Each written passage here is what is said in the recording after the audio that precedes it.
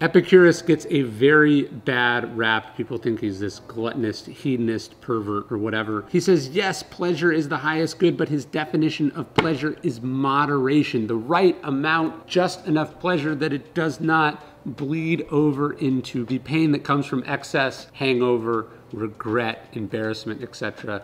You should definitely read Epicurus. And I would say, you know who was a huge Epicurus fan, or at least read him quite uh, extensively? That would be Seneca. Even though the Stoics and the Epicureans were rivals, Seneca was deeply familiar with Epicurus's writing, read it all the time. He said, I'll quote a bad author if the line is good. He said, we should read like a spy in the enemy camp, so you should definitely read Epicurus.